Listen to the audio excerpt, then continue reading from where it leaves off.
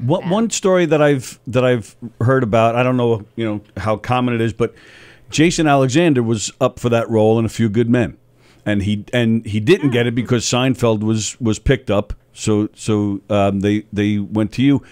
Have you and I and I've seen you talk to Jason on your podcast. I've seen you talk to him about it, but have you ever done an impression of what Jason Alexander would have sounded like in your role? That's interesting. Uh, it never crossed my mind until this moment. yeah, now you have to. Wow, do so I it. gave you a moniker Wait, and another bit. You just ruined Ke- the rest of Kevin's day. yeah. Yeah, Well, for everyone around him, anyway. yeah, right. No, that's Yeah. really interesting. Um, it is true that uh, when I was working on Morton and Hayes, actually, created by Rob Reiner and Christopher Guest, Yep.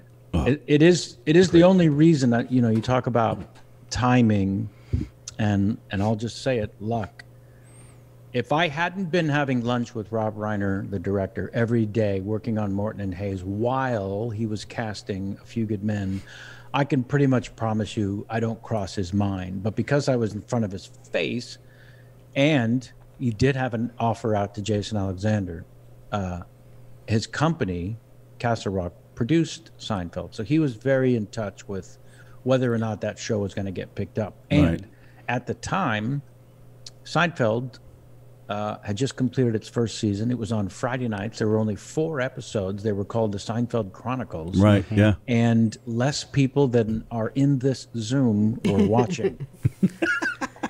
and it was a big maybe, not anywhere near a sure thing. The, it may have been the opposite of a sure thing. So when Rob Reiner said if Seinfeld gets picked up for a second season, my first thought was, well, there's no way Seinfeld's getting picked up for a second season. Why are you rubbing this in my face, Rob?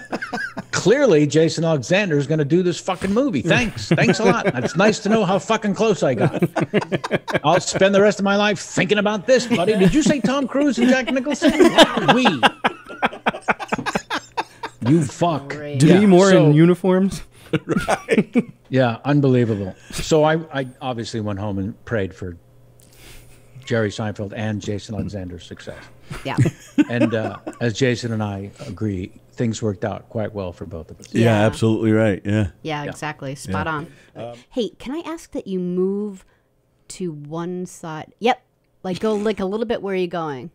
Like the other way. Yep, that's it. And 'Cause now I'm you getting, cha-cha. I'm getting half your face sometimes.